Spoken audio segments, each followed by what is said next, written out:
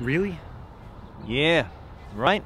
No, no, no, not not right. What the hell is this? This is what you paid me to make. Art.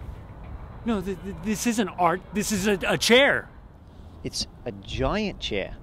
Yes, it is a giant fucking chair.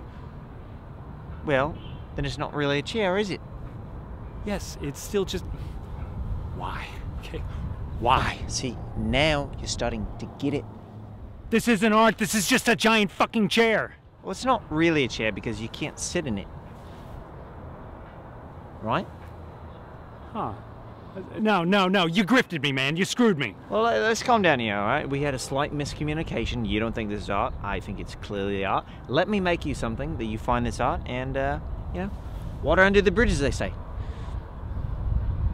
Well, I do have another space uptown.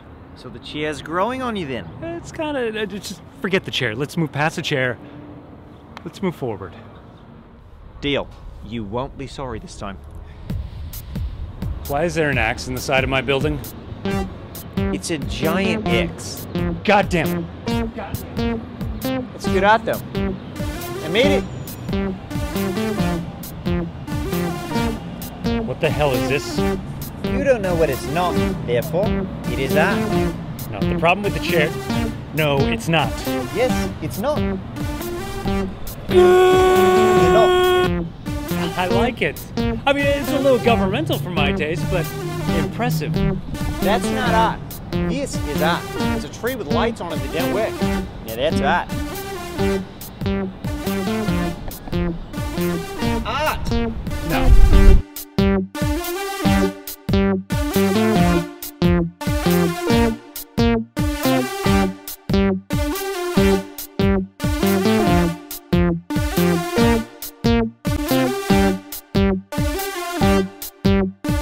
This is art.